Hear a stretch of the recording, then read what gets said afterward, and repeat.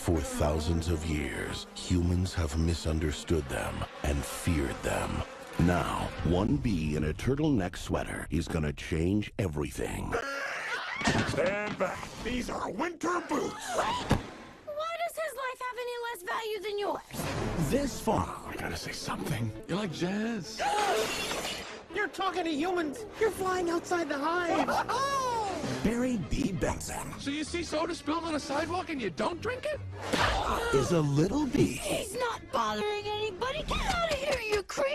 discovering a big secret. How did this get here? This is Honeyberry. This is stealing! Cute bee. Golden Blossom.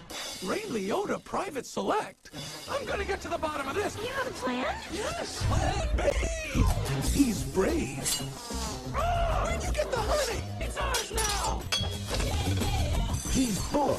This can't possibly work. Okay, Barry, pull the chute.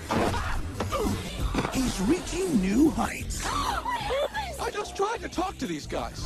Hi. Then there was a dustbuster, a toupee, a life raft exploded. Now one's bald, one's in a boat, and they're both unconscious. Jerry Seinfeld. Renee Zellweger.